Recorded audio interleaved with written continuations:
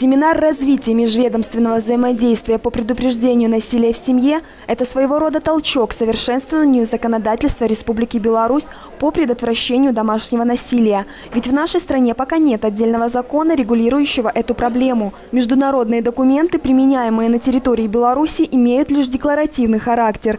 Поэтому нормы Уголовного кодекса и Кодекса Республики Беларусь об административных правонарушениях начинают действовать только по факту случившегося.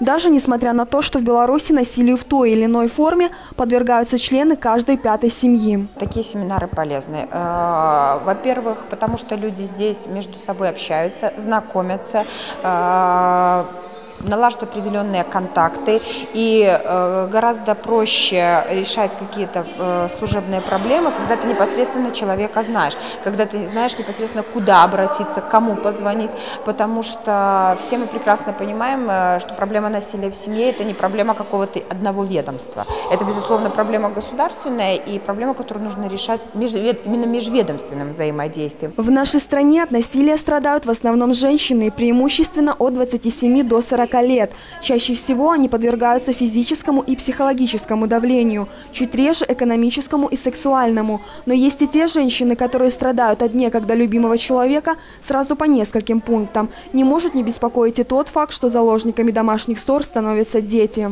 Наша страна только начинает работу в этом направлении. Например, сегодня уже есть первый опыт в кризисных комнатах, которые оказывают помощь пострадавшим от домашнего насилия. Там уже есть расселение, живут женщины с детьми, которые стали жертвами домашнего насилия, которые вот находятся в этих кризисных комнатах, как во временном убежище. Вот это очень ценный национальный опыт. Когда в семье появляется трещина и разлад, это не просто проблема. Это трагедия для каждого члена семьи в отдельности и для общества в целом. Именно поэтому вопрос закрытого плана носит такой выявленный характер и выносится на всеобщий суд.